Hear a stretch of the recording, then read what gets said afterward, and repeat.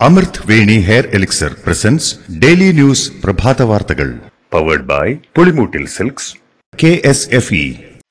Wow ഇയാളുടെ മുടിക്കിപ്പോ നല്ല ഉള്ള നീളം വന്നല്ലോ. എന്റെ മുടി നോക്ക് നീ നിന്റെ വൈറ്റമിൻ ഡി ലെവൽസ് ഒന്ന് ചെക്ക് ചെയ് വൈറ്റമിൻ ഡിയുടെയും ഈസ്ട്രോജന്റെയും കുറവാണ്. മിക്ക ലേഡീസിന്റെയും ഹെയർ പ്രോബ്ലംസിന് പ്രധാന കാരണം. സ്ത്രീകളുടെ മുടി വളർച്ചയ്ക്കും ശക്തിക്കും അത്യാവശ്യമായ വൈറ്റമിൻ ഡിയാലും ഹെർബൽ ഈസ്ട്രോജനാലും സമ്പുഷ്ടമായ ആദ്യത്തെ hair elixir Amrit Veni hair elixir for women നമസ്കാരം ഞാൻ ഷാജി പത്മനാഭൻ. ഡെയിലി ന്യൂസിന്റെ പ്രഭാത വാർത്തകളിലേക്ക് സ്വാഗതം. ഇന്ന് മാർച്ച് മുപ്പത്തൊന്ന് ഞായറാഴ്ച.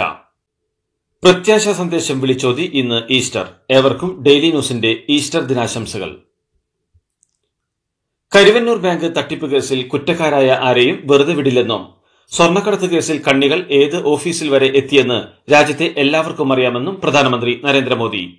ഇ ഡി പിടിച്ചെടുത്ത പണം നിക്ഷേപകർക്ക് തിരികെ നൽകുമെന്നും ഇത്തവണ കേരളത്തിൽ ബി ജെ പി റെക്കോർഡ് വിജയം സൃഷ്ടിക്കുമെന്നാണ് പ്രതീക്ഷയെന്നും മോദി പറഞ്ഞു. ഗവർണർമാർ ഭരണഘടനാപരമായ ഉത്തരവാദിത്തം നിർവഹിച്ചാൽ ഹർജികളുടെ എണ്ണം കുറയുമെന്നും നിയമസഭ പാസാക്കിയ ബില്ലുകളിൽ ഗവർണർമാർ ഭരണഘടനാപരമായ ഉത്തരവാദിത്തം നിർവഹിക്കണമെന്നും സുപ്രീം കോടതി ജഡ്ജി ബി വി നാഗരത്ന. കള്ളപ്പണം നിയമപരമായ പണമാക്കാനുള്ള നല്ല മാർഗമായിരുന്നു നോട്ട് അസാധുവാക്കലെന്നും നിയമപ്രകാരമുള്ള നടപടിക്രമങ്ങൾ പാലിച്ചല്ല നോട്ട് അസാധുവാക്കലുമായി ബന്ധപ്പെട്ട നടപടികൾ സ്വീകരിച്ചതെന്നും ജസ്റ്റിസ് നാഗരത്ന. ശമ്പളവും പെൻഷനും കൊടുക്കുമോ എന്ന കാര്യത്തിൽ ആർക്കും ആശങ്ക വേണ്ടെന്ന് ധനമന്ത്രി കെ എൻ ബാലഗോപാൽ. ഒന്നാം തീയതി തന്നെ എല്ലാവർക്കും കൃത്യമായി ശമ്പളം നൽകുമെന്നും ക്ഷേമ പെൻഷൻ കൊടുക്കാനുള്ള ക്രമീകരണങ്ങൾ ഏർപ്പെടുത്തിയിട്ടുണ്ടെന്നും അദ്ദേഹം പറഞ്ഞു. ആർ എൽ വി രാമകൃഷ്ണൻ നൽകിയ പരാതിയിൽ തിരുവനന്തപുരം കന്റോൺമെന്റ് പോലീസ് കലാമണ്ഡലം സത്യഭാമയ്ക്കെതിരെ ജാമ്യമില്ല വകുപ്പ് പ്രകാരം കേസെടുത്തു. യൂട്യൂബ് അഭിമുഖത്തിൽ തന്നെ വ്യക്തിപരമായി അപമാനിച്ചെന്നാണ് കലാമണ്ഡലം സത്യഭാമയ്ക്കെതിരായ ആർ എൽ വി രാമകൃഷ്ണന്റെ പരാതി. മുസ്ലിം ലീഗിനെ ഇടതുമുന്നണിയിലേക്ക് ക്ഷണിച്ചിട്ടില്ലെന്ന് സി പി എം സംസ്ഥാന സെക്രട്ടറി എം വി ഗോവിന്ദൻ. ലീഗിന്റെ ആവശ്യം ഇടതുമുന്നണിക്ക് ഇല്ലെന്നും അദ്ദേഹം വ്യക്തമാക്കി. ലോക്സഭാ തെരഞ്ഞെടുപ്പ് പ്രചരണത്തിനിടെ മാധ്യമപ്രവർത്തകരുടെ ചോദ്യത്തിന് മറുപടിയായാണ് മുസ്ലിം ലീഗിന്റെ കാര്യത്തിലെ നിലപാട് ഗോവിന്ദൻ വ്യക്തമാക്കിയത്. ലോക്സഭാ തെരഞ്ഞെടുപ്പിൽ കോൺഗ്രസ് മത്സരിക്കുന്നത് ചിഹ്നം പോവാതിരിക്കാനല്ല മറിച്ച് ബി ജെ പി സർക്കാരിനെ താഴെയിറക്കി ഫാസിസത്തെ ചെറുത്ത് തോൽപ്പിക്കാനാണെന്ന് പ്രതിപക്ഷ നേതാവ് വി ഡി സതീശൻ. രാജ്യത്തെ മുഖ്യ പ്രതിപക്ഷ കക്ഷിയെ പ്രവർത്തിപ്പിക്കാതിരിക്കാൻ ഒരു ഭരണകൂടം എന്തൊക്കെ ചെയ്യുന്നു എന്നതിന് തെളിവാണ് ഇ ഡി അന്വേഷണവും ആദായ നികുതി റെയ്ഡുമെന്നും ഫാസിസത്തിന്റെ ഏറ്റവും ക്രൂരമായ മുഖമാണിതെന്നും അദ്ദേഹം പറഞ്ഞു.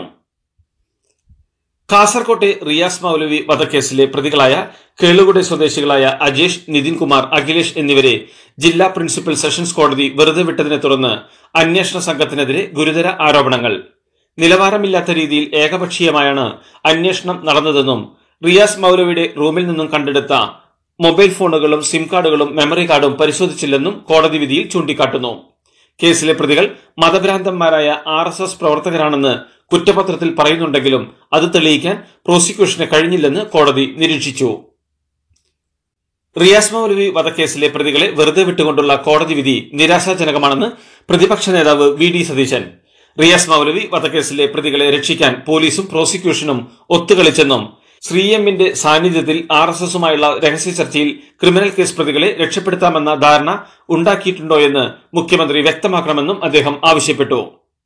റിയാസ് മൗലവി വധം കോടതിയുടെ മുന്നിലുള്ള കേസാണെന്നും കൃത്യമായി കേസ് കൈകാര്യം ചെയ്തെന്നും സി പി എം സംസ്ഥാന സെക്രട്ടറി എം വി ഗോവിന്ദൻ.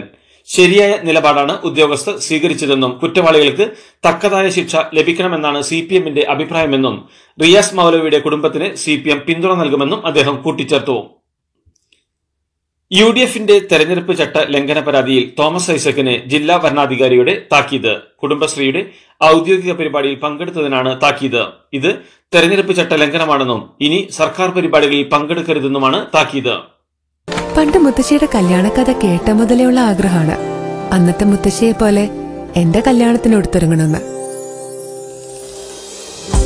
ഏഴ് നിറമേന്തിയും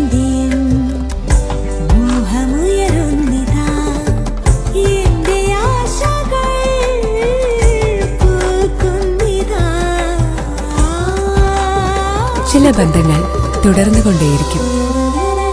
Celebrating hundred years of Pulimoottil silks Suresh Gopi തെരഞ്ഞെടുപ്പ് പെരുമാറ്റച്ചട്ടം ലംഘിച്ചുവെന്ന് ആരോപിച്ച് എൽ ഡി എഫ് നൽകിയ പരാതിയിൽ കലക്ടർ വിശദീകരണം തേടി. വോട്ട് അഭ്യർത്ഥിച്ച് നൽകുന്ന കുറിപ്പിൽ പ്രിന്റിംഗ് വിവരങ്ങൾ ഇല്ലെന്നാണ് പരാതി. രണ്ട് ദിവസത്തിനകം സ്ഥാനാർത്ഥി വിശദീകരണം നൽകണം. സി പി ഐ ജില്ലാ സെക്രട്ടറിയും L D F Thrissur parliament മണ്ഡലം കേന്ദ്ര തെരഞ്ഞെടുപ്പ് കമ്മിറ്റി ട്രഷററുമായ കെ കെ വത്സരാജാണ് പരാതി നൽകിയത്. ജൂൺ നാലിന് തൃശൂരിൽ ഉയർപ്പാണ് സംഭവിക്കാൻ പോകുന്നതെന്നും തൃശൂർ വഴി കേരളത്തിന്റെ ഉയർപ്പ് സംജാതമാകണമെന്നും എൻ ഡി എ സ്ഥാനാർത്ഥി സുരേഷ് ഗോപി. തൃശൂർ എടുത്തിരിക്കുമെന്നും തൃശൂർ എടുക്കാൻ വേണ്ടി തന്നെയാണ് താൻ വന്നതെന്നും സുരേഷ് ഗോപി ആവർത്തിച്ചു. വയനാട് സുഗന്ധഗിരി മരമുറി കേസിൽ കൽപ്പറ്റ സെക്ഷൻ ഫോറസ്റ്റ് ഓഫീസർ വനംവകുപ്പ് വാച്ചർ എന്നിവർക്കെതിരെ നടപടി. Section forest officer K K ചന്ദ്രനെ സസ്പെൻഡ് ചെയ്തു. ഇരുപത് മരം മുറിക്കാൻ അനുമതി വാങ്ങിയതിന്റെ മറവിൽ മുപ്പത് മരം മുറിച്ചെന്നാണ് കണ്ടെത്തൽ. വകുപ്പ് തല അന്വേഷണത്തിന് പിന്നാലെയാണ് നടപടി. കണ്ണൂർ സി പി ഐ നേതാക്കളുടെ സ്മൃതി മണ്ഡപങ്ങളിലെ അതിക്രമ സംഭവത്തിലെ പ്രതി ചാല തന്നട സ്വദേശി ഷാജിയെ പോലീസ് അറസ്റ്റ് ചെയ്തു. സംഭവത്തിൽ രാഷ്ട്രീയമില്ലെന്നും കുപ്പികളിൽ ബാക്കി വന്ന ശീതളപാനീയമാണ് സ്തൂപങ്ങളിൽ ഒഴിച്ചതെന്നും പോലീസ് വ്യക്തമാക്കി. ശബരിമലയിലെ കേസുകൾ പിൻവലിക്കുമെന്ന് കഴിഞ്ഞ നിയമസഭാ തെരഞ്ഞെടുപ്പ് കാലത്ത് മുഖ്യമന്ത്രി പ്രഖ്യാപിച്ചതാണെന്നും പക്ഷേ കേസുകൾ പിൻവലിച്ചില്ലെന്നും ബി സംസ്ഥാന അധ്യക്ഷൻ കെ സുരേന്ദ്രൻ. വിശ്വാസികൾക്ക് നൽകിയ വാഗ്ദാനം പാലിച്ചില്ലെന്നും എന്നാൽ തെരഞ്ഞെടുപ്പ് പ്രഖ്യാപിച്ച ശേഷം സി എ എ കേസുകൾ പിൻവലിച്ചുവെന്നും ഇതാണ് കേരളത്തിൽ നടന്നുകൊണ്ടിരിക്കുന്ന വിവേചന രാഷ്ട്രീയമെന്നും അദ്ദേഹം പറഞ്ഞു. പത്തനംതിട്ടയിലെ യു ഡി എഫ് സ്ഥാനാർത്ഥി ആന്റോ ആന്റണിയുടെ പ്രചാരണത്തിന് എത്തുന്നതിന്റെ പോസ്റ്റർ ഫേസ്ബുക്കിൽ പങ്കുവച്ച് ഉമ്മൻചാണ്ടിയുടെ മകൾ അച്ചു ഉമ്മൻ. ഏപ്രിൽ ആറിനാണ് അച്ചു പത്തനംതിട്ടയിലെത്തുക. അനിൽ ആന്റണി ബാല്യകാലം മുതലുള്ള സുഹൃത്താണെന്നും അതുകൊണ്ട് തന്നെ അദ്ദേഹത്തിനെതിരെ പ്രചാരണം നടത്താനാകില്ലെന്നും അച്ചു ഉമ്മൻ പറഞ്ഞതായി വാർത്തകൾ വന്നിരുന്നു. ബി ജെ പി സ്ഥാനാർത്ഥിയായ ദേവഗൌഡയുടെ മരുമകൻ ഡോക്ടർ മഞ്ജുനാഥയ്ക്ക് സ്വീകരണം നൽകുന്നുവെന്ന പോസ്റ്ററിൽ കേരളത്തിൽ എൽ ഡി എഫ് മുന്നണിയിലുള്ള ജെ ഡി എസിന്റെ സംസ്ഥാന അധ്യക്ഷൻ മാത്യു ടി തോമസും മന്ത്രി കെ കൃഷ്ണൻകുട്ടിയും. ജെ ഡി എസിന്റെ സേവാദൾ നേതാവ് ബസവരാജാണ് പോസ്റ്റർ ഇറക്കിയിരിക്കുന്നത്. ജെ ഡി എസ് ദേശീയതലത്തിൽ എൻ ഡി എക്കൊപ്പമാണെങ്കിലും കേരളത്തിൽ എൽ ഡി എഫിനൊപ്പമാണ്. റോഡിന്റെ നിലനിൽപ്പിനും യാത്രക്കാരുടെ സുരക്ഷയ്ക്കും സ്വാഭാവിക റബ്ബർ കലർത്തിയുള്ള ടാർ മിശ്രിതം ഉപയോഗിക്കണമെന്ന നിർദ്ദേശവുമായി കേന്ദ്ര ഉപരിതല ഗതാഗത മന്ത്രാലയം. ചിലവ് കൂടുതലാണെന്ന കാരണത്താൽ റോഡ് നിർമ്മാണത്തിൽ നിന്ന് റബ്ബർ ഒഴിവാക്കരുതെന്നും അധികൃതർ പറഞ്ഞു. സഹോദരന്റെ കസ്റ്റഡി മരണത്തിൽ നടപടി ആവശ്യപ്പെട്ട് വർഷങ്ങളായി സെക്രട്ടേറിയറ്റ് നടയിൽ സമരവുമായി കഴിയുന്ന ശ്രീജിത്ത് എന്ന യുവാവിനെതിരെ കേസ്. മുഖ്യമന്ത്രി പിണറായി വിജയനെതിരെ മയക്ക് കെട്ടി അസഭ്യവർഷം നടത്തിയതിന് ഐ പി സി ഇരുന്നൂറ്റി തൊണ്ണൂറ്റിനാല് പ്രകാരമാണ് കേസെടുത്തിരിക്കുന്നത്. മലയാറ്റൂർ പുഴയിൽ ഇന്നലെ മൂന്ന് മുങ്ങിമരണം. ഇന്നലെ രാവിലെ തീർത്ഥാടനത്തിനെത്തിയ വൈപ്പിൻ സ്വദേശി സനോജാണ് ആദ്യം പുഴയിൽ മുങ്ങിമരിച്ചത്. ഇതിന് പിന്നാലെ ഈ അപകടം നടന്ന സ്ഥലത്തു നിന്നും ഒരു കിലോമീറ്റർ അകലെ വെച്ച് തീർത്ഥാടനത്തിനെത്തിയ രണ്ടുപേർ കൂടി പുഴയിൽ മുങ്ങിമരിച്ചു. ഊട്ടി സ്വദേശികളായ മണി റൊണാൾഡ് എന്നിവരാണ് മരിച്ചത്. കേരളത്തിലെ ഒമ്പത് ജില്ലകളിൽ ചൂട് ഉയരുമെന്ന് കാലാവസ്ഥാ വകുപ്പിന്റെ മുന്നറിയിപ്പ്. വേനൽമഴ ആശ്വാസമാകുമെന്ന് കരുതിയെങ്കിലും നേരിയ മഴ മാത്രമാണ് അനുഭവപ്പെട്ടത്. കയ്യിലെ പണം വെറുതെ വെക്കേണ്ട. കെ എസ് എഫ് ഇയിൽ നിക്ഷേപിച്ച് എട്ട് പോയിന്റ് രണ്ട് അഞ്ച് ശതമാനം പലിശ നേടൂ. നേട്ടം നിക്ഷേപ പദ്ധതി. ഇതിനേക്കാൾ നേട്ടം മറ്റൊന്നില്ല. പ്രധാനമന്ത്രി നരേന്ദ്രമോദിയുടെ കണ്ണീർ മോദിയുടെ കണ്ണുകൾ പോലും വിശ്വസിക്കില്ലെന്ന് തമിഴ്നാട് മുഖ്യമന്ത്രി എം കെ സ്റ്റാലിൻ. തമിഴ് അറിയില്ലെന്ന് പറഞ്ഞ് മോദി കരയും. എന്നാൽ ഹിന്ദി അടിച്ചേൽപ്പിക്കാൻ ശ്രമിക്കുകയും ചെയ്യും. മോദിയെ തമിഴ് ജനത എങ്ങനെ വിശ്വസിക്കുമെന്നാണ് സ്റ്റാലിന്റെ ചോദ്യം. വിമാനങ്ങളിൽ തമിഴിൽ അറിയിപ്പ് നിർബന്ധമാക്കുമെന്ന മോദിയുടെ രണ്ടായിരത്തി പത്തൊമ്പതിലെ പ്രസംഗത്തിന്റെ വീഡിയോ പങ്കുവച്ചാണ് സ്റ്റാലിന്റെ വിമർശനം. കർണാടക ഉപമുഖ്യമന്ത്രി ഡി കെ ശിവകുമാറിനെ ആദായ നികുതി വകുപ്പിന്റെ നോട്ടീസ്. കോടതിയിൽ തീരുമാനമായ കേസുമായി ബന്ധപ്പെട്ടാണ് പുതിയ നോട്ടീസെന്നും ഇന്നലെ രാത്രിയോടെയാണ് നോട്ടീസ് ലഭിച്ചതെന്നും അദ്ദേഹം വ്യക്തമാക്കി. നോട്ടീസ് കണ്ട് ഞെട്ടിയെന്നും ഈ രാജ്യത്ത് ജനാധിപത്യമില്ലേ എന്നും ശിവകുമാർ ചോദിച്ചു. ഡൽഹി മുഖ്യമന്ത്രി അരവിന്ദ് കെജ്രിവാളിന്റെ ഭാര്യ സുനിത കെജ്രിവാളും ജാർഖണ്ഡ് മുൻ മുഖ്യമന്ത്രി ഹേമന്ത് സോറന്റെ ഭാര്യ കൽപ്പന സോറനും ഇന്നലെ ഡൽഹിയിൽ കൂടിക്കാഴ്ച നടത്തി. ജാർഖണ്ഡിൽ നടന്ന അതേ സംഭവമാണ് ഡൽഹിയിൽ ആവർത്തിച്ചതെന്നും ഇതിനെതിരെ ഒരുമിച്ച് പോരാടുമെന്നും കൽപ്പന സോറൻ. ഏപ്രിൽ പത്തൊമ്പതിന് നിയമസഭാ തെരഞ്ഞെടുപ്പ് നടക്കാനിരിക്കുന്ന അരുണാചൽ പ്രദേശിൽ മുഖ്യമന്ത്രി പെമ ഖണ്ഡുവും ഉപമുഖ്യമന്ത്രി ചൌന മേനും ഉൾപ്പെടെ പത്ത് ബി ജെ പി സ്ഥാനാർത്ഥികൾ എതിരില്ലാതെ തെരഞ്ഞെടുക്കപ്പെട്ടു. നിയമസഭാ തെരഞ്ഞെടുപ്പിനുള്ള നാമനിർദ്ദേശ പത്രിക സമർപ്പിക്കാനുള്ള തീയതി അവസാനിച്ചതിനാൽ ഖണ്ഡുവും മറ്റ് ഒമ്പത് സ്ഥാനാർത്ഥികളും എതിരില്ലാതെ തെരഞ്ഞെടുക്കപ്പെട്ടതായി മുഖ്യ തെരഞ്ഞെടുപ്പ് ഓഫീസർ പവൻകുമാർ സെയിൻ ആണ് അറിയിച്ചത്. ആറ് മണ്ഡലങ്ങളിൽ ഓരോ നാമനിർദ്ദേശ പത്രിക വീതം മാത്രമാണ് ലഭിച്ചതെന്നും നാലിടങ്ങളിൽ എതിർ സ്ഥാനാർത്ഥികൾ പത്രിക പിൻവലിച്ചതായും മുഖ്യ തെരഞ്ഞെടുപ്പ് ഓഫീസർ അറിയിച്ചു.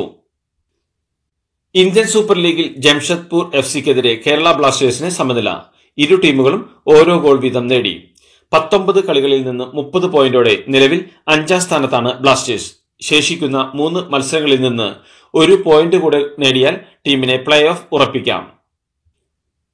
ഇന്ത്യൻ പ്രീമിയർ ലീഗിൽ ലക്നൌ സൂപ്പർ ജയൻസിന് പഞ്ചാബ് കിങ്സിനെതിരെ ഇരുപത്തൊന്ന് റൺസിന്റെ വിജയം. ആദ്യം ബാറ്റ് ചെയ്ത ലക്നൌ അമ്പത്തിനാല് റൺസ് എടുത്ത കിൻഡൻ ഡീകോക്കിന്റെയും നാൽപ്പത്തിമൂന്ന് റൺസ് എടുത്ത കൃണാൽ പാണ്ഡ്യയുടെയും കരുത്തിൽ എട്ട് വിക്കറ്റ് നഷ്ടത്തിൽ നൂറ്റി തൊണ്ണൂറ്റൊമ്പത് റൺസ് എടുത്തു. എന്നാൽ എഴുപത് റൺസ് എടുത്ത ശിഖർ ധവാനും നാൽപ്പത്തിരണ്ട് റൺസ് എടുത്ത ജോൺ ബെയർസ്റ്റോയും മറുപടി ബാറ്റിംഗിനിറങ്ങിയ പഞ്ചാബ് കിങ്സിന് മികച്ച തുടക്കം സമ്മാനിച്ചെങ്കിലും അഞ്ച് വിക്കറ്റ് നഷ്ടത്തിൽ നൂറ്റി എഴുപത്തെട്ട് റൺസ് നേടാനേ സാധിച്ചുള്ളൂ. ഇതോടുകൂടി ഡെയിലി ന്യൂസിന്റെ ഇന്നത്തെ പ്രഭാത വാർത്തകൾ സമാപിക്കുന്നു. ഡെയിലി ന്യൂസിന് വേണ്ടി വാർത്തകൾ വായിച്ചത് Shaji Padmanabhan. Daily news live വാർത്തകൾ വിരൽ തുമ്പിൽ.